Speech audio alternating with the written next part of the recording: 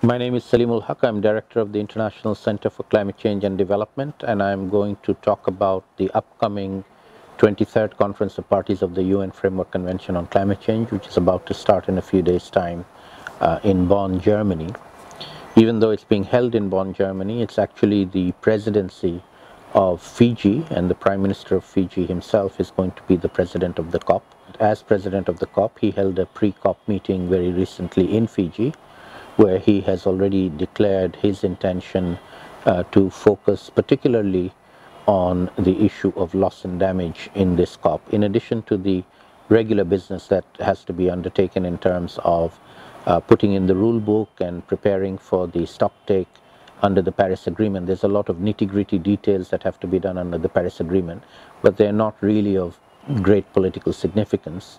Um, what is of much greater political significance is the fact that this year, 2017, represents a major tipping point in terms of the global impacts of climatic events that are now directly and unequivocally attributable to human-induced climate change. Uh, while there are quite a few of them around the globe, the most important and perhaps the most illustrative are the four hurricanes that hit the United States and the Caribbean that traveled through the Atlantic Ocean and the Caribbean in the last few months. Initially Harvey hitting Texas and Houston and then Irma hitting Florida and then Maria uh, hitting uh, Puerto Rico where the impacts, particularly loss and damage, are now estimated in the region of well over $300 billion, which they are going to send the bill to the US Congress to pay.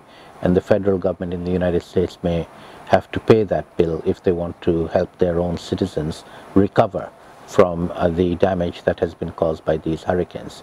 And the fact that these hurricanes uh, were of such severe magnitude, the hurricanes themselves are not due to climate change, but the magnitude may well have been due to climate change because the temperatures in the Atlantic and Caribbean were elevated at that time beyond their normal uh, temperature and hence um, the the given intensity of a cyclone or a hurricane is dependent on the sea surface temperature and since those were elevated uh, what became category 5 and category 4 storms might have otherwise been only category 1 2 uh, type of storms and had might have had much less damage.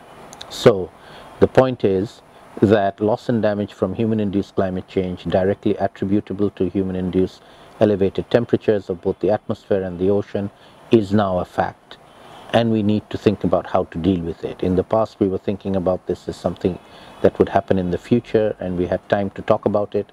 The time is now over. We need to decide what to do about it. The most important bit uh, will be focusing on how do we finance and support the compensation to those who are affected by the impacts of climate change and, and suffer the loss and damage. So there'll be a lot of in interest in developing innovative financing structures and, and mechanisms. We already have some uh, innovative insurance, index-based insurance schemes. We might look for other examples of innovative finance. So that, uh, that is my view of what the major issues will be. I'll be reporting back every evening from Bonn, uh, starting from the first week on progress in the global overall negotiations, but particularly focusing on the issue of loss and damage.